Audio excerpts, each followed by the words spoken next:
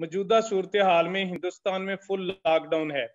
इस हालत में कुर्बानी करना मुश्किल हो रहा है। शरीयत की रोशनी में क्या किया जाए? इसमें कोई शक नहीं है कि बाज इलाकों में लॉकडाउन है और बाज इलाकों में नहीं है। ऐसे भी इलाके मौजूद हैं। इंडिया से ही हमें खबर मिलती रहती है एक शहर में है दूसरे में नहीं एक में है तीसरे में नहीं। तो ऐसे में अगर मुमकिन हो कि आपके अज़ीज़ अकारब दूसरे शहर में मौजूद हैं तो उनसे तावन तलब कर लीजिए। उनसे कहिए कि हमारे यहाँ खरीदना, रखना, बांटना नामुमकिन है। आप लोग खरीदिए, कुर्बानी कर दीजिए, बांट दीजिए, और वो आपके हिस्से का अगर गोश्त भी कुछ पहुँचा सकते हैं या आप ला सकते हैं, वो भी लेके आ जाइए। ऐसे में कोई ऐसा मसला तो नहीं है, कुर्बानी की जा सकती है। और फिर अगर कभी कोई ऐसी शक्ल बन जाए कि किसी भी हाल में, ना कोई हमारा बाहर है।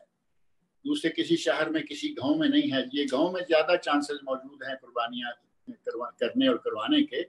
अगर किसी का कोई नहीं है बाहर, और शहर में रहते हुए ना वो कुर्बानी खरीद सकते हैं, ना जिबा कर करवा सकते हैं, ना वो कुर्बानी का गोश्त तकसीम कर सकते हैं, कोई शक्ल ही ऐसी नहीं है। तो ऐसी शक्ल में फिर वो किसी ऐसे शख्स को देखें दो तीन शक्लें हैं। एक ये कि कोई ऐसा मरीज़ हो जिसकी कोई मदद नहीं कर रहा, उसके रिश्तेदारों में से कोई नहीं और उसके दोस्त अहबाब में से कोई नहीं, अगर उसका इलाज न करवाया गया तो मर जाएगा, वो कुर्बानी के पैसे उसको दे दें दूसरी शक्ल ये कि एक आदमी मकरूज है और उसका कर्जा उतारने की कोई शबील नहीं बन रही और उसके रिश्तेदारों में, दोस्त अहबाब में कोई उसका इस सिलसिले में तावन करने को तैयार नहीं है, उसका कर्जा अदा कर दें और ये दो अहम चीज़ें हैं। कोई मरीज़ है, कोई मकरूज है।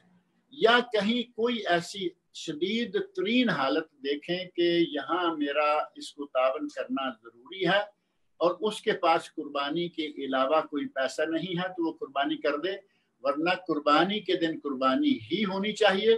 फकरा मसाकिन नबी वसल्लम के ज़माना में मौजूद थे और बहुत ज़्यादा। जैसा कि मारूफ है, मैंने पहले ज़िक्र किया है कि शहबा कराम के फ़कर की बातें, उनके वाक़ात सुने तो हैरानी होती है कि वो लोग इस्लाम को हम तक पहुँचाने का ज़रिया बने, इतने फ़कर में उन लोगों ने अपना वक्त गुजारा। तो फ़करा मौजूद थे, लेकिन इसके बावजूद आपने कुर्बानी नहीं सुनी। दस साल मुसलसल कुर्बानियाँ की। शहबा कराम, कुर्बानियाँ दिया करते थे। आप कुर्बानी के लिए दिल से कोशिश करें, कैसे, कहाँ आप करवा सकते हैं। और अगर कोई शक्ल न बने तो जैसे मैंने अर्ज़ किया है, इन दो एक जगहों में तीसरी जगह ये है कि वो भूख से मर रहा है। मरीज़ है, नंबर एक। मकरूज है, नंबर दो। और तीसरा ये कि वो लॉकडाउन ही के नतीजा में कुछ ऐसे लोग भी सामने आ गए कि वो बेचारे रोज कमा के खा रहे थे दो, तीन, चार महीनों से। लॉकडाउन की वजह से वो कुछ नहीं कमा पा रहे और वो भूखे हो गए। मरने की नौबत आ गई, फाकों की नौबत आ गई। अगर आप अपना पैसा वहाँ दे देंगे तो इनशाला कोई हर्ज नहीं। लेकिन इस बात को महज बहाना बना के कि लॉकडाउन है, गरीब लोग हैं, कुर्बानी छोड़ दी जाइए, ये नहीं। कुर्बानी शार है इस्लाम का।